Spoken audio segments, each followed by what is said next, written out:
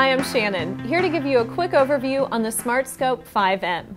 The SmartScope 5M is a handheld digital microscope. What really makes this stand out is the fact that you get 5 megapixel resolution. This is great after you've captured a photo because it allows you to zoom in and really see the most minute detail. Also, it's great when you're viewing live images because you're going to see an incredibly crisp, clear image. And it's extremely easy to use. Let me show you how it works.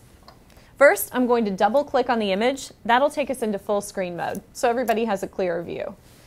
You can use the SmartScope 5M just like a traditional microscope. So first, I want to analyze a slide of an onion skin. You're going to want to use the dial at the bottom of the SmartScope 5M all the way over to the right to start off. Then you'll place it on the slide and then slowly turn the dial to the left. You'll see the image come into focus. This is at 100x magnification. It looks a little dark, so I'm going to turn up the light on it. That's the middle dial. You can see you can adjust the light as well. So I'm going to turn it all the way up and get a lot of good light on that so we can really see it. And then you can even zoom in more. Continue turning the dial to the left. And you can see the onion skin at 200x magnification. I think this is a great shot. So in order to capture an image, all you have to do is press the button right at the top of the SmartScope 5M. That's the camera. Press that. It's captured the photo. In order to go out and view your photos, just double click again. That'll exit full screen mode. And you can see down here at the bottom, these are all the photos that we've taken.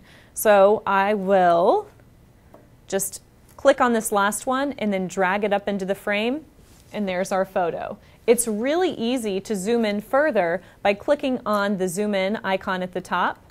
So you can zoom in, you can go back into full screen mode, and you can even use the arrow keys to move around the picture. So you've got a lot that you can really zoom in and see here with the SmartScope 5M. You can analyze things with the SmartScope 5M that you would never be able to look at with a regular microscope. I'm going to go back into full screen mode and take a look at this wood block. Again, you're going to want to make sure that your focus dial is turned all the way to the right and my light's good, the dial right here in the middle, and then I'll slowly turn the focus dial to the left and you can see the wood is really coming into focus. You can move it around take a look at different aspects of the wood. But what's great about the SmartScope 5M is you're not limited to just this side like you are with the slide.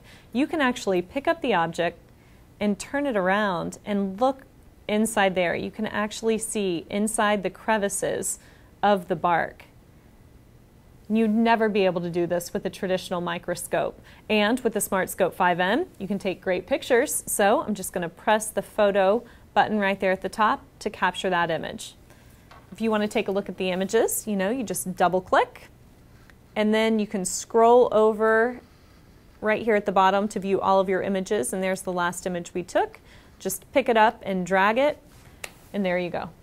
With the SmartScope 5M, you can not only take still photos, but you can record videos, record time-lapse videos, compare two images side by side, and there's even a measurement feature. Included in the package is the SmartScope 5M, the stand, and the software site license, so you can install the software on all of the computers on your campus. The software is compatible with both PCs and Macs, and the SmartScope 5M works great with interactive whiteboards. The SmartScope 5M is fun, it's easy to use, and most importantly, it gets students excited about learning.